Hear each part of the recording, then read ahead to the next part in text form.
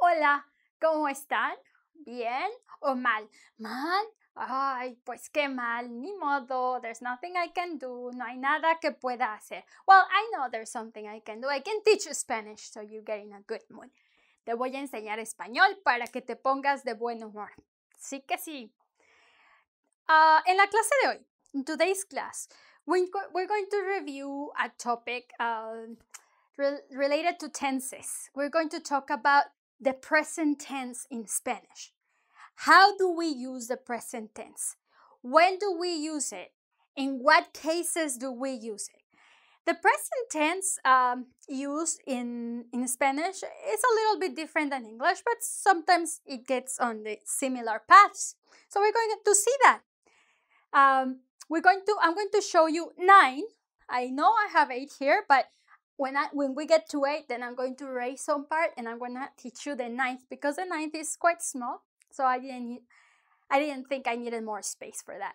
So I'm going to teach you nine cases in which you're going to use the present tense correctly in Spanish. Now, I know I always tell you, oh, well, you know, the present tense is not so important. Maybe you want to focus more on the past tense or in the future tense because when we talk, we tend to talk about past situations and future plans.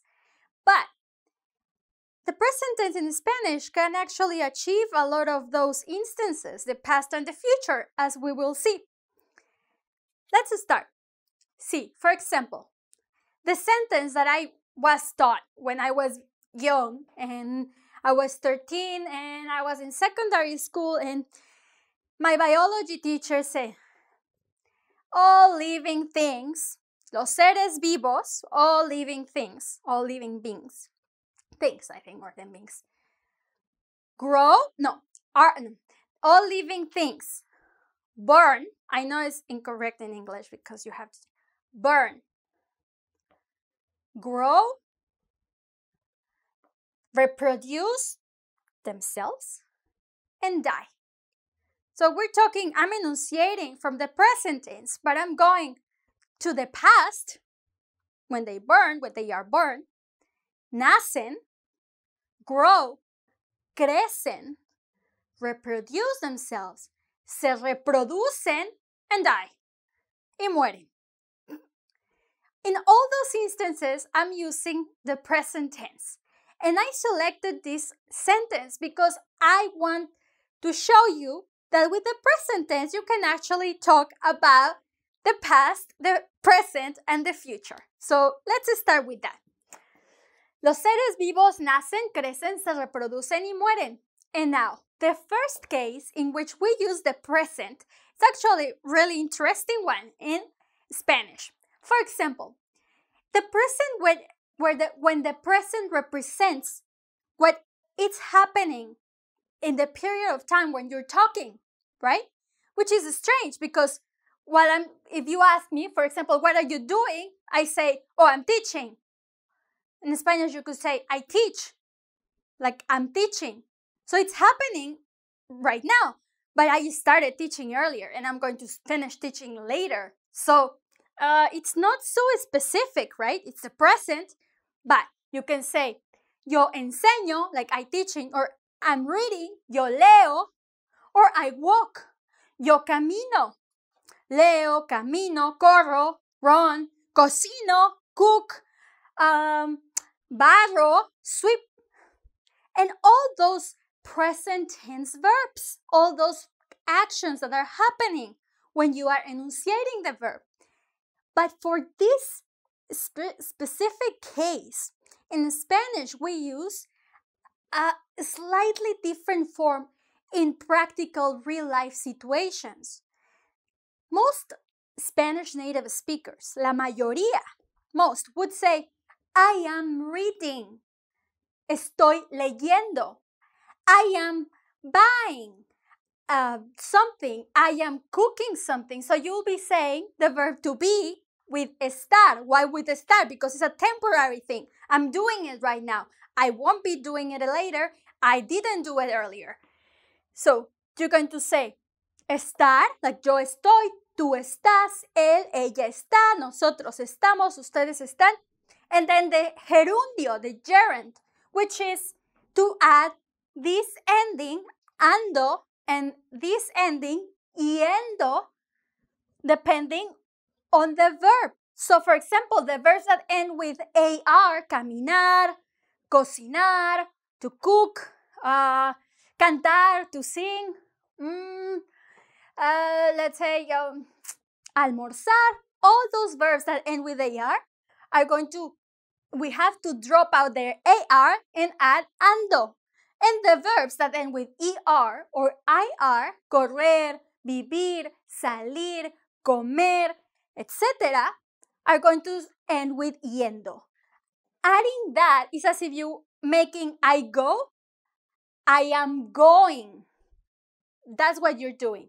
So you're not say you say um, camino, caminando. Oh, sorry. Se me cayó mi plumón, como siempre. I always drop my. I get too excited. Me emociona mucho enseñar. So you're going to drop the ending and you're going to add the gerundio. With this gerund, you are going to say what's happening right now. And native speakers use it more because for something that you are doing at the time when you're saying the sentence, it makes sense to be more specific. Right now, I am teaching. But you can say, I teach, enseño. Oh, what are you doing? Um, I buy some tortillas. Well, most speakers would say, I am buying tortillas. I am buying tortillas. For ejemplo, mi hermana me llama. Hey, Ana, ¿qué estás haciendo? Ah, estoy comprando tortillas. I am buying tortillas. Estoy comprando tortillas because that's the thing I'm doing at that moment. So this is the first case in which we're going to use the present. But to make it more specific, if you want to make it more specific, that it's doing, you're doing that right now, then you want to use this formula. Estar plus gerundio. That I already told you how to build it. Muy bien. El segundo caso is when you talk about, well, first of all, when you talk about things that you do, um, like habits, uh, like things that don't change, what you do. Uh, so, for example, when you say, I work at, for example, I work at the tortilleria, that's where they sell tortillas. So I say, I work at the tortilleria, but maybe you work at an office. So you can say, I work at an office. You're going to use the present tense, the present simple, indicativo tense. Yo trabajo, yo trabajo, el presente, trabajo en la tortillería. I put la, el, porque depende en la oficina, pero yo por say that in the medical, in, in the doctor's office, you say consultorio. Consultorio ends with O, and most nouns that end with O are masculine. So you say en el consultorio. Pero yo trabajo en la tortillería, o yo trabajo en la oficina, o yo trabajo en una escuela, etc. You're going to use presente, trabajo, tú trabajas en la oficina, yo trabajo en la tortillería. When there are things that are daily, that you do. And also when there are things that are more general, like universal things, you know? For example, what I said, all living things grow, die. That's a universal general statement. But if you want to say, for example, the earth goes around the sun. Well, it's nothing that you're just making up, it's a truth. So, those, when you're going to say a true, a truth, you're going to say, el, la tierra, el sol gira alrededor de, ah, no, la tierra gira alrededor del sol. La tierra, aquí está la tierra aquí está el sol y aquí está la tierra. Y está girando. Y tú dices, la tierra gira alrededor del sol. That's a universal truth. So you have to say it with the present. So your universal truth is you work at an office. Your universal truth is uh, you eat meat. Yo como carne. Or you don't eat meat. Yo no como carne. You're stating something general, universal. And the fact that the earth goes around the sun. And truths like that. Probably you know more truths that I do. The one that I came up, that I thought of when I was doing this lesson was that.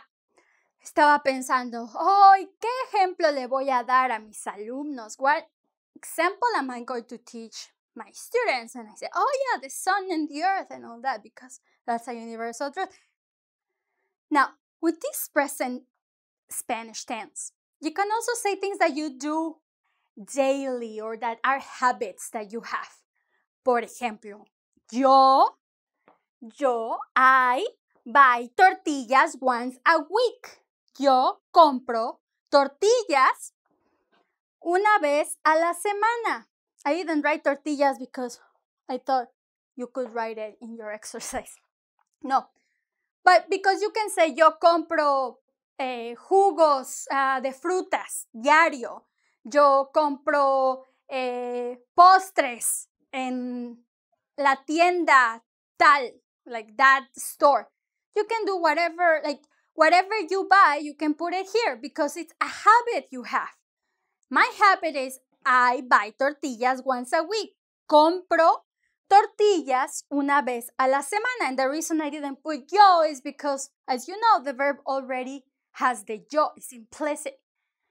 Yo compro tortillas una vez a la semana o compro tortillas una vez a la semana. When I say compro, you know it's yo. If I say tú compras, I can say compras tortillas una vez a la semana. Por ejemplo, mi hermana va al gimnasio tres veces a la semana. My sister goes to the gym three times a week. Mi hermana va, goes to the gym, al gimnasio una, tres veces a la semana, three times a week. Now, my other sister goes to the gym mm, once in a while. Mi otra hermana va al gimnasio de vez en cuando, once in a while. But to state those regular habits that you have, you have to use the present. I I I have uh, eggs for breakfast every day. That's a habit. So then you have to use the present. You don't have to say in the past or in the future. You can just you can only use the present. What I wrote here is a little bit of um, adverbs of time. Adverbs of time is when you're stating the time. When does that happen? Every day, once a month, uh, on Wednesdays, on Thursdays, every weekend, etc. So you think about this present tense um, as something that is used with a regular time frame. They call it adverbs of time because they like they locate you. In some in the timeline, you do it regularly in certain spots. Very well. This is the four. El cuarto, vamos al quinto. This is quite similar in that that's what I uh, put it next. Instead of saying every Wednesday or on Wednesdays or um, twice a month, think about the future. You can express the future with the present. Oh, yes, sí, sí. Mira, por ejemplo, next week or next year or next month, I travel to Spain. Let's say, viajo a España. Viajo a España. You're saying, next week, la siguiente, next week, la siguiente semana, viajo a España. I'm saying next week, it's the future. But I'm using the, the present verb. Viajo viajo, it's in present. I'm not saying viajaré o voy a viajar. I'm saying yo viajo, tú viajas, él viaja. If you know the conjugation for the present tense, uh, perfect. If you don't know, then watch my video about that topic first. Viajo a España la, pro, la siguiente semana. La siguiente could say la próxima too. You can also say próxima. It's the same thing. La siguiente o la próxima semana. El siguiente año. El siguiente año viajo a España o voy a España. O el siguiente año voy a Argentina. O el siguiente año voy a Perú. O el siguiente año voy a México. A donde quiera que vayas. O el siguiente año eh, me inscribo a la, a la escuela. I um, subscribe. I subscribe to the school. I um, I sign up to the school, etc. So yes, you can use the present to state plans that you're going to do in the future, and you don't have to use the um, the future tense of the verb. Now, if you really want to use the future tense of a verb, remember that I told you a very easy way to express a future tense of the uh, of the verb. So, for example, you can say you, you have to learn the present tense of the verb to go. The present, nothing else, just the present. Yo voy, tú vas, él va. This is an S. Es una S, ¿eh? Él va, ella va, usted va, nosotros vamos, ustedes van y ellos van. Vamos y van. Uh, vice, whatever. I'm not to teach you vas because most Spanish speakers don't use that. Vosotros. Voy. Tú vas a la preposición a and the verb in infinitive. Voy a viajar. Right? Voy a. Uy, qué fea letra. What an ugly writing. That's better. Voy a viajar. Vas a viajar. Vamos a viajar. Sí. El próximo año vamos a viajar a Perú. Sí, vamos todos. You can use, you can make the future like that for every verb. That's great. And on the way, you learn the present of to go, which is huge, huge. If you know the present of to go, like a song, Yo voy, tú vas, you already have it because a lot of people like, uh, uh, uh, uh.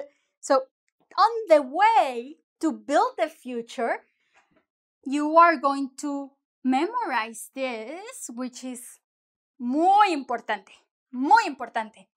Now, you say, no, no, no, I want to use the present to state the future plans. Then you use the present of whatever infinitive verb. Remember, infinitivo is the ones that end with AR, ER, IR, the three conjugations. Very well. So, for, for example, the last example for this. My friend Gergana, who is in Berlin, she always tells me, Cuando vienes? When are you coming to visit me? To see me? Cuando vienes a verme? And she's using a present tense, even though it's a time, like it's not present. What I'm gonna do will be the future. She's stating it in the present tense, and that's a regular way to say it. She said, When are you coming? Cuando vienes? You can ask, when you ask someone, you can say, Cuando vienes?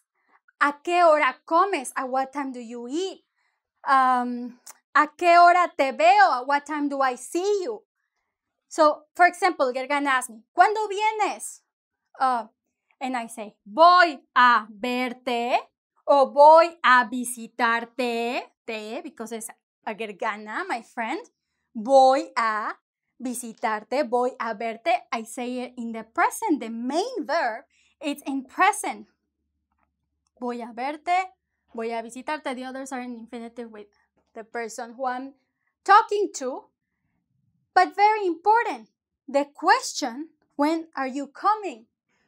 You remember I told you that you can say, estoy leyendo, it's like I'm reading. But when you say, when are you coming? That way in English is incorrect in Spanish. You cannot say, ¿Cuándo estás viniendo? When are you coming? ¿Cuándo estás viniendo? We ask, when do you come? Or when you come. Cuando vienes. As I said in another video, my friend Ruben, who is a musician, he always asks, What are you doing tomorrow? Which would be, ¿Qué estás haciendo mañana? Like the gerund, ¿Qué estás? El verbo estar. Haciendo. What are you doing tomorrow? Ruben should ask, ¿Qué haces mañana? In present. ¿Qué haces? ¿O qué vas a hacer? Because it's the future. ¿O qué vas a hacer? But he cannot ask, What are you doing tomorrow? ¿Qué estás haciendo mañana? This gerund can all only be used for things that are currently happening. You're doing it. The person who speaks is doing that action. When you are using it for a future, you have to use only the present. ¿Qué, vas a, ¿Qué haces mañana? Or the future. ¿Qué vas a hacer mañana? It's common that when you ask a question, you ask in present. ¿Cuándo vienes? ¿A qué hora sales? ¿A what time do you come out? ¿A what time you finish? ¿A qué hora terminas? ¿A what time do you finish? ¿A qué hora vas al pan? ¿A what time do you go and buy the bread? That's a good saying in Spanish. ¿A qué hora sales al pan? That's what guys ask women to say, like, oh, I'll, I'll go and run into you then. it's kind of flirty. ¿A qué hora sales al pan? You say, oh, a las seis. And then at six, then you'll, you'll run into this person. It's romantic, that's it. Very well. So, ¿cuándo vienes? Oh, you can ask, at what time do you take a shower? ¿A qué hora te bañas? ¿A what time do you take a shower? ¿A qué hora te bañas? And you're using the present. Yeah, you think about it, it's very similar to this part, right? It's just a habit. It happens. ¿A qué hora te bañas? But if you have a normal question, ¿a qué hora vienes? ¿A qué hora sales? You're kind of using the present, but you're not, you're using the present, but obviously you you are using it to know the future action. Now, let's go to the seventh, la siete. La siete is when you, it's a condition. I call it like, we call it the condition present, right? Because you always express a condition. Something is going to happen if, if. The big word is if. And if in Spanish is si. But no si without an accent mark. Si. Si with accent mark, like this here. Si, it's yes, but without an accent mark.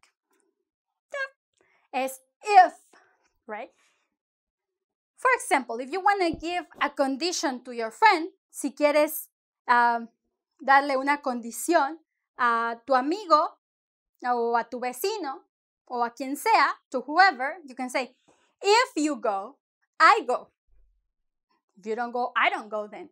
So you're saying, si vas, voy, coma. Puedes decir, si tú vas, yo voy. But because the verb is all, the person is always embedded in the verb ending, then you don't have to say it. But if you prefer to say it, then you just say it. Si vas, voy. If you go, I go. Um, for example, I always tell my friend Rita, Rita doesn't like to cook. So whenever I tell her, if you come, I cook, it's like a like a condition that is good for her. Saying, well, come, I'll cook, don't worry. Say, si vienes, presente, si tú vienes o si vienes, yo cocino. Si vienes, cocino. Si no vienes, if you don't come and then we see each other somewhere else, then I won't cook. So it's when you're giving conditions to people. If you say if, if you come, I cook. If you come, uh, we go to the pool, etc. That's um, the condition present, right? You express a condition, you use the present. And it is quite practical because think about it. Sometimes you get a headache with Spanish verbs and you're like, oh, it's so difficult. But here I'm teaching you a formula. It's like if present of the verb, present indicativo simple, comma, I, ta, ta, ta. And presente de nuevo, again. So it's quite handy. It's very useful. And I think you'll rather uh, use it. You learn it well. Uh, the eighth, the second last one. Churchill dies in 1965. Yes, that's the historical present. It's when we take a past uh, event event and we bring it to the present with the verb. For example, I say Churchill muere. But really, what I'm saying is murió, died. Murió. Churchill murió, but I'm saying muere.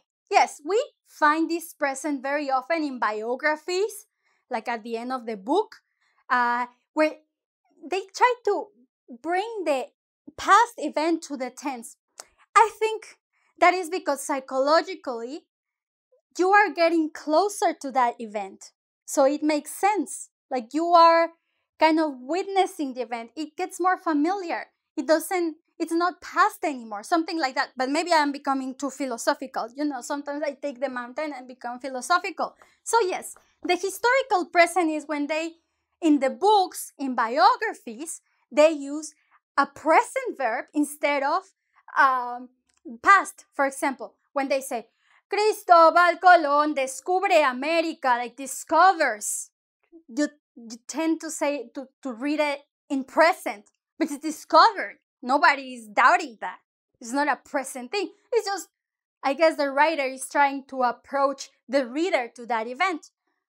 Now, another biography use um, uh, from this uh, present is when you give a resume in Spanish, you talk about you in third person, like, oh, I'm really, really important.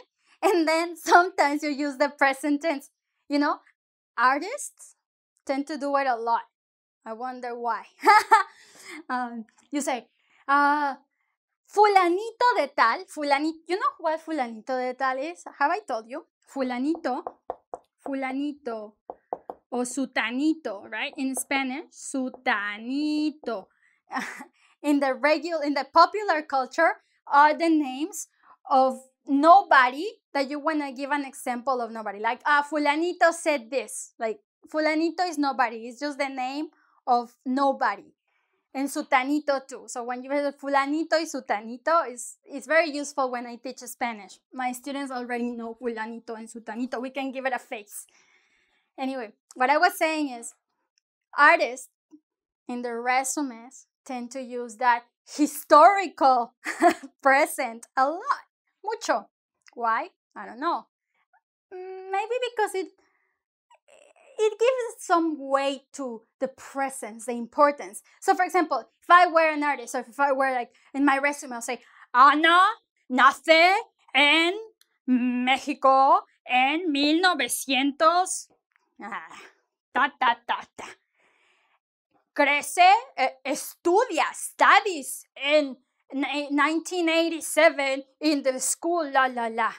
She graduates and then she starts and everything is in present, right? Like everything is in present. And yeah, it is to make it, I think, more interesting that put it in the past. It brings it closer, right? If you were going to hire me, it's like, oh, yeah, yeah, she has done so many things not so long ago. And it turns out that at the end it says in 1951, right? But it doesn't matter. It gets you closer. And speaking of get you closer, I have another example for, uh, yeah, that, that, I almost forgot. I almost forget. Oh, that's another example, but we're gonna go to that one next. Oh, I'm so excited. There are so many good things that I left for the end. When I say getting closer to the past, have you ever heard people sometimes they tell you a story that happened and then use the present? Oh, and then and opens the door. Ella abre la puerta and looks at me. Y se me queda viendo. What's happening? He says. ¿Qué, qué pasa? me dice. Y yo me quedo. And I stayed like, uh, nothing, nada. Like, why are you doing that face? ¿Por qué tienes esa cara? Why do you have that face? I'm like, well, that is my face. And then, and then he leaves. Y se va. Y yo me quedo. And I stay. What? ¿Qué? Why do people say this? I love this part.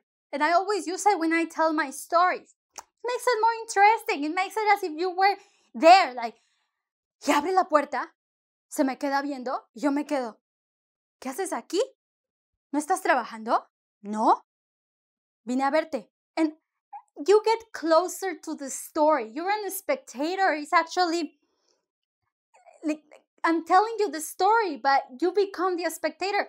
And by me saying the past story in present, I get you in like the suspense and, and all this drama that is happening, even though it happened. So it makes sense that the historical present gets us closer to the past, past event. That in resume, sometimes we speak in present, so to make our like the employment experience closer, etc. It makes sense. It makes sense. The last one, do you remember if I say, oh, before I forget, I try, I almost forget. I said, I almost forget. I almost forget.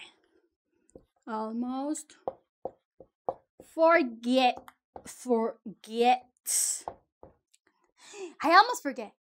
Casi. Golden word. Casi.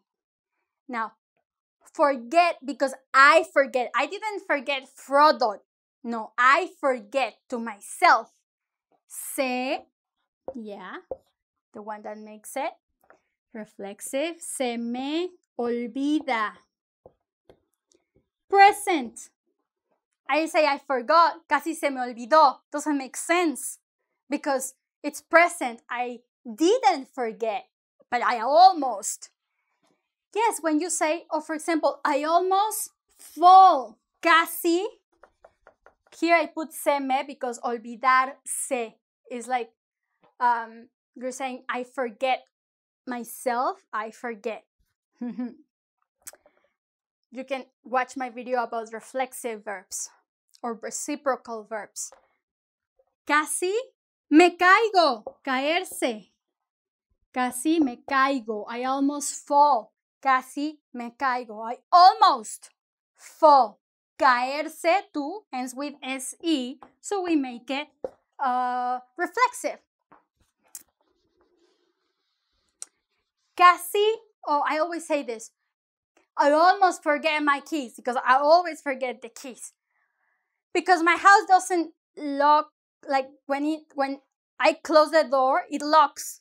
So to close it, I don't need the keys. So I forget my keys all the time. And I always give this example. So you're probably, oh, Anna, you don't have any more examples. Please give us a break. Casi olvido las llaves. Las llaves. Tata, las llaves. You know how to write llaves. Casi olvido las llaves. I almost. So when you say I almost, after you can say the verb in present. Now remember, if the verb ends with se or if it's an action that you're doing and it's happening to you, like kind of goes back to you, a reflexive verb, then you have to say me caigo, casi me baño, I almost take a shower. Oh, I shouldn't have taken a shower, I almost take a shower, etc. Casi, I almost, and then the verb in present. If it's a reflexive verb, then with the reflexive pronoun. If not, then just the simple verb in present. Muy bien. I think that's all I wanted to teach you today. It's around, see, I got it. Ah, um, eight or nine or ten uses of the present tense in Spanish. And this is useful because with this present, you can express yourself in really many tenses, in many uh, temporal scenes. Muy bien, I hope you enjoyed my lesson. I will see you in my next lesson, probably next week. Don't forget to go to my website to sign up to get my newsletter. I send my newsletter once a month, sometimes once every two months, depending how busy I am with other things. But what I try to do in my newsletter is to teach you more Spanish, but in a different way, maybe to explore uh, cultural parts of the language, the culture, uh, to ex- uh, explain to you some things that are really difficult maybe to do in a video because they are very long. So I can explain to you in detail some topics related to Spanish. So yeah, it is a newsletter, but it's not like about me. It's more about what I have that I think can help you to keep improving or keep learning Spanish. Muchas gracias y hasta luego.